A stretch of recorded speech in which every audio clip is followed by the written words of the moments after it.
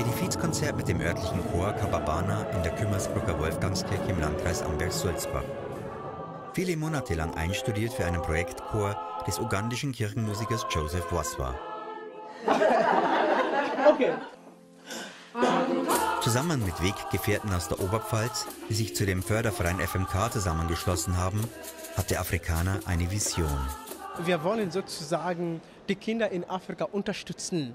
Durch die Musik kann man solche Sachen schaffen, weil Musik äh, hat eine besondere Kraft. Wir wollen eine Schule für Kinder in Uganda aufbauen, damit die auch eine Chance zur Bildung haben. Denn ohne Bildung keine Entwicklung, glaubt Waswa.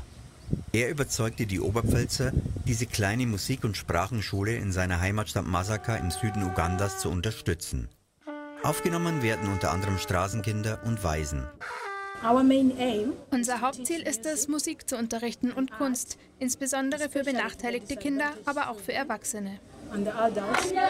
260 Schüler werden derzeit unterrichtet. Die Oberpfälzer unterstützen das finanziell, aber auch durch Mithilfe, so wie die Praktikantin Nora Fleck. Sie hat daheim in der Oberpfalz eines der Konzerte mit dem Gastauftritt ugandischer Kinder gehört und sofort gesagt, da muss ich hin. Ich finde das so cool. Ich spiele auch selber Klavier und damit kann ich dann hier vielleicht was beitragen. Dann habe ich mit Joseph geredet, mit seiner Ehefrau und die meinten dann mit, mein, mit meinem Business-Hintergrund, weil ich studiere BWL, ähm, könnte ich ja auch helfen, um das Ganze, den Businessplan zu machen, die Budgetierung. Und ich fühle mich hier total richtig. Also ich bin so froh herzukommen gekommen zu sein. Beim Klavierunterricht stößt Nora manchmal auf Kinder, die zwar die Theorie kennen, aber nie zuvor ein Klavier angefasst hatten.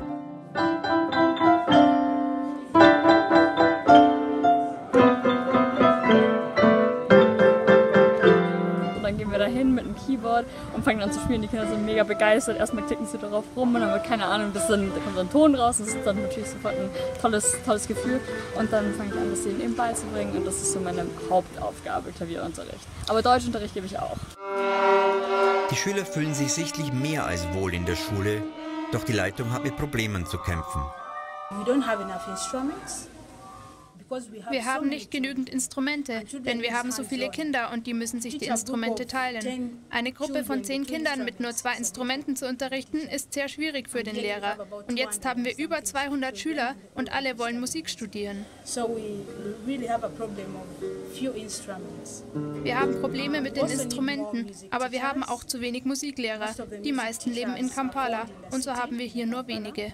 So those teachers that we have here Hinzu kommt, dass die Schule aus allen Nähten platzt. Deswegen setzen Nabokenia Fidelis und die vielen ehrenamtlichen Helfer auf den geplanten Neubau einer großen internationalen Schule für Musik, Sprachen und Studioproduktionen, IMLS. Für diesen Bau wird derzeit in der Oberpfalz unentwegt Geld gesammelt, zum Beispiel durch Benefizkonzerte wie hier in Kümmersbruck. Alle Mitwirkenden arbeiten ehrenamtlich. Das ist insgesamt ist eine Völkerverständigung. Völkerverständigung, aber auch direkte Hilfe für die Bevölkerung. Uganda zählt noch immer zu den ärmsten Ländern der Welt. Besonders betroffen von der Armut die Kinder, so wie die Schüler der Musikschule in Masaka. Diese Kinder hier haben wenig Perspektiven leider, haben zum Teil ihre Eltern verloren an AIDS, auch die Kinder in den Schulen haben, wenn man hier durch die Straßen fährt, das ist einfach ein wahnsinniges armes Gebiet, armes Land. In dieser Gegend hier ist eine wahnsinnig hohe AIDS-Rate. Zwar, zwar ist die in Uganda generell nicht so hoch, aber in der Gegend hier ziemlich hoch. Und Musik ist was, was verbindet, Musik ist was, was Freude schenkt. Musik ist was, wenn man da Erfolge hat, will man noch mehr Erfolge haben in der Schule, im, im Job. Dance for Jesus, dance for Jesus. Musik als Chance zur Entwicklung eines ganzen Landes. Das hatte auch Joseph Waswa gesagt. Deshalb ermuntern er und auch die Volunteers vor Ort, alle Oberpfälzer zu spenden und zu helfen.